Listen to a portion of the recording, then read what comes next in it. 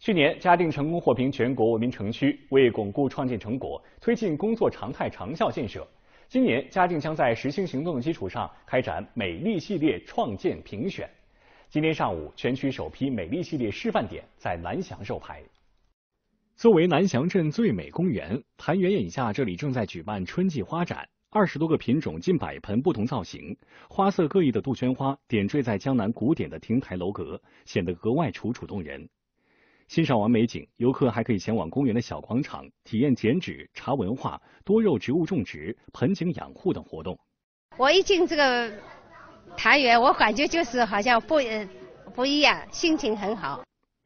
除了活动丰富，在服务上，园方也是细致入微。不仅保洁人员都穿上特制马甲，化身为景区指引员，公园两个售票处还都设立了学雷锋志愿服务站，提供医药箱、雨衣、饮用水等便民项目。有的老年人过来有那借轮椅，都可以的，对，啊，特别方便。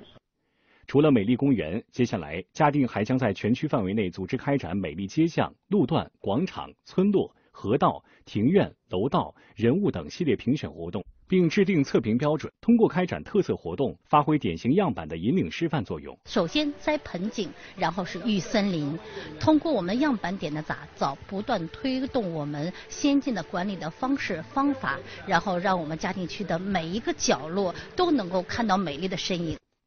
嘉定台记者张志斌、王家俊报道。